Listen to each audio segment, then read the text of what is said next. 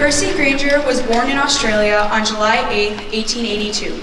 He studied in Frankfurt before beginning a successful career as a concert pianist in England at the turn of the century. His first compositions were experimental in nature, culminating with Hill Song 1 in 1902. He subsequently modified his style in the hmm. popular British folk music settings and the Room-Music Tit-Bits. In 1914, he immigrated to America and took up residence, becoming an American citizen after a period in the U.S. Army. He toured North America, Europe, South Africa, and Australia on several occasions, setting up the Grainger Museum on the grounds of Melbourne University during his visits to Australia in 1930s.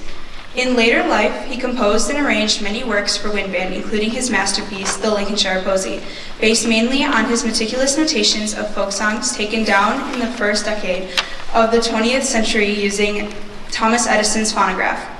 Grainger was the first collector in England to make extensive recordings of folk song. In the 1920s, he further made recordings in Denmark, which gave rise to his Danish folk music suite and other Danish folk music settings. Of Grainger's own music, the Norwegian music scholar Sparre Olsen wrote, his masters the whole scale of human feeling, the soft, the tender, the lyrical, the intense, the dramatic, and the wild.